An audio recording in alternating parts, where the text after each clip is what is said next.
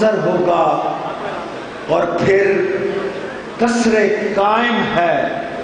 قائم کے گھر سے یہ بہتر جنازوں کی شبی برآمد ہوگی۔ آپ سے ملتمس ہوں۔ جنازوں کی شبی کی زیارت کر کے جائیے گا۔ یہ بارہ ذی الحج صبح آٹھ بجے تا مرضی صاحب الزمان، مسجد و امام بارگاہ علی، بیت الحسن جاگیر آباد شیخو پورا میں سلطان الزاکرین، جناب غلام کمبر، آپ شیخو پورا کی برسی ہے، ان کی اولاد کے زیر تمام مجلس ادا ہوگی بارہ ذی الحج کو۔ جس سے پاکستان کے نامور ذاکرین اور علماء کرام خطاب فرمائیں گے۔ تشریف لاتے ہیں۔ یہ وہ شاعر ہے جس کا ابھی ابھی مشتاق شاہ نے قصیدہ پڑھا ہے اور سیدہ کی شان میں یہ بہترین لکھاری ہے۔ جناب رائے علی عمران صاحب اور ان کے فوراً بعد شہباز پاکستان جناب ملک مرتدر مہدی۔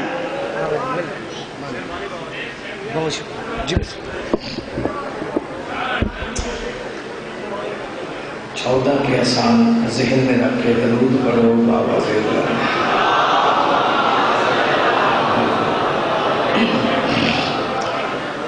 اجازت ہے بھائی میں نے کوئی طویل زحمت نہیں دینی آپ کو۔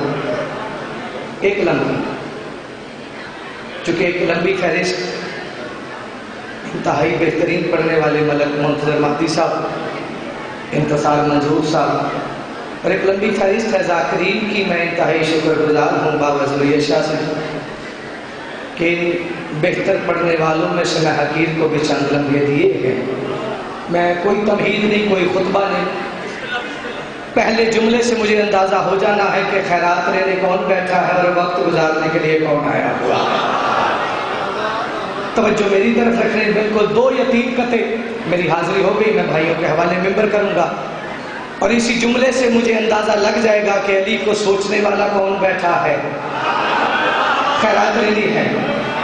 میں بالکل پہلا جملہ صحیفہ دل پہ دستک دینے کے لیے۔ بابا جی داد اسی بندے کے مقدر میں لکھی جاتی ہے کہ جسے یقین ہو کہ جو سورج کی پہلی کرن کو پھول کے رخسار پہ پڑی ہوئی شبنم کو پینے کا حکم دے اسے علی کہتے ہیں۔ خیرات کے لیے، وہ ہاتھ بلند ہوئے اب آدھو شاد رہو۔ بڑی مہربانی، میری حیثیت سے سارے مل کے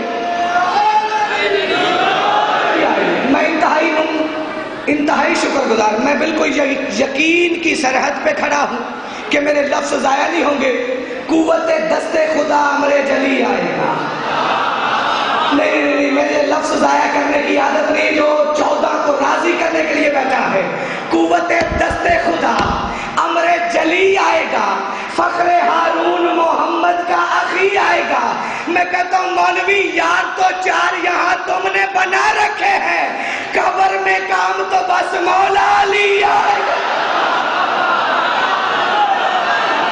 کیا بات ہے یار؟ سلام ہے آپ کے سلامت رہو۔ یار بادشاہ سلام ہے ان ہاتھوں کو جو یہاں بلند ہوتے ہیں۔ لیکن مجھے علی کی عزت کی قسم ہے، استقبال میری اوقات سے بڑا ہے۔ کچھ ہاتھ بلند ہوتے ہوتے رہ گئے۔ یہ داد ہاتھ اٹھا کے دیتے ہو نا، تو یہ ذات ذاکر کو ملتی ہے، سلام علی کا ہو جاتا ہے۔ بد نصیب ہوتا ہے بندہ علی کے گھر بھی بیٹھا رہے اور علی کو سلام بھی نہ کر سکے۔ میں منتظر بھائی، اس چہرے کی زیارت نہ کر لوں کہ جو دن میں تین بار روٹی بھی علی سے لے کے کھاتا ہے اور میرے چوتھے مصرے پہ زمین چھوڑ کے استقبال ہی نہیں کرتا۔ اٹھا کے ہاتھ جو دینا سلامی بھول جاتا ہے، وہ بندہ ذات کے اندر کی خامی بھول جاتا ہے اور علی تو رزق دنیا میں برابر بانٹ دیتا ہے، حلالی یاد رکھتا ہے، حرامی بھول جاتا ہے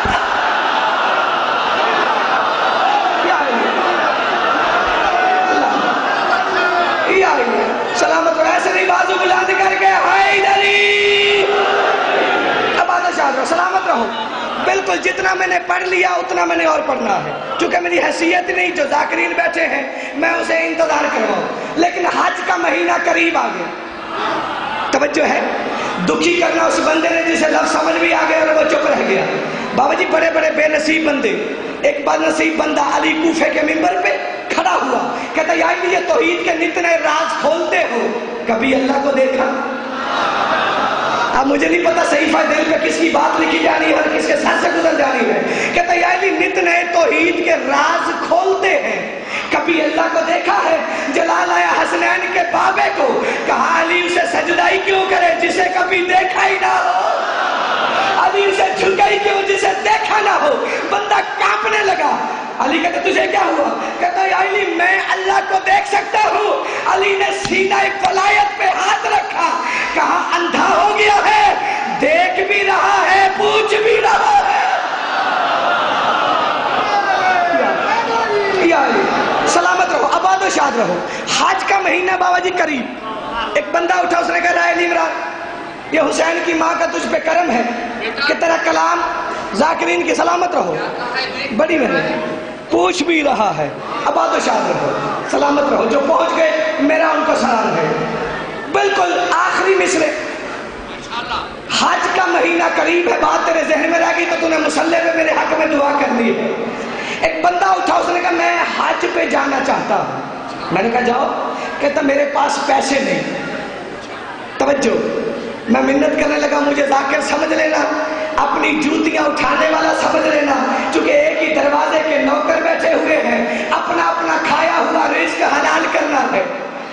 میں کہا، جاؤ، کہتا میرے پاس پیسے نہیں۔ میں نے کہا، گھر میں جوان بیٹی ہے، اس کی شادی کر، اللہ تجھے حج کا ثواب دے گا۔ اور رائے لیورن بات کا فیصلہ نہیں ہوا حج کا ثواب مل جائے گا لیکن جو حج کرنے کا مزہ ہوتا ہے لطف ہوتا ہے وہ مجھے کیسے ملے گا میں نے کہا اگر لطف لینا چاہتا ہے تو سن، مت کبھی دشمن حیدر کی ایانت کرنا۔ نہیں نہیں، جو پیچھے رہ گیا ان کا اپنا موقع تھا جو میں نے کافیہ استعمال کیا ہے ایانت جو میرے جیسے کم پڑھے لکھے۔ ایانت کہتے ہیں مدد کو، نصرت کو۔ مت کبھی دشمن حیدر کی ایانت کرنا۔ کیوں؟ جرم ہوتا ہے امانت میں خیانت کرنا۔ جرم ہوتا ہے امانت میں خیانت کرنا۔ میں نے کہا اپنے آنگن میں حج کا مزہ لینا ہے۔ تین شیطانوں پہ ہر حال میں لعنت کرنا۔ بازو